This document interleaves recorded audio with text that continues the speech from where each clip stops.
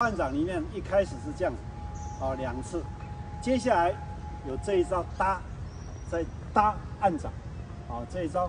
这一招有点像连目前的，啊这个套环手，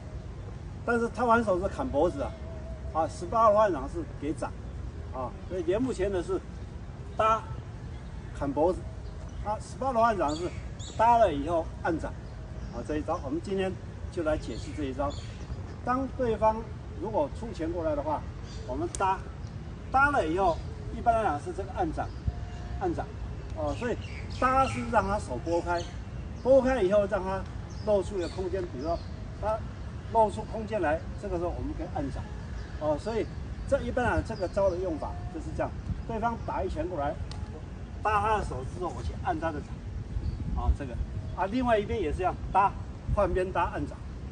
啊。可是实际上我们在用的时候，后面那一个按掌，有时候你功力强的话不一定可以用到，啊，比如说对方一搭过来，我气感比较强的话，我在这边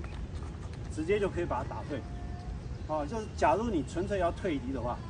啊，不一定要用到这一招，啊，搭过来，我不一定要用后面这一掌，啊，他过来，我搭，我这边保持气感，那个势都还在，在的话，我这个时候。这样就可以可以把敌人打退，啊，好，这一招搭按掌，搭按掌，它的用法就简单跟各位说明到这里，好，谢谢。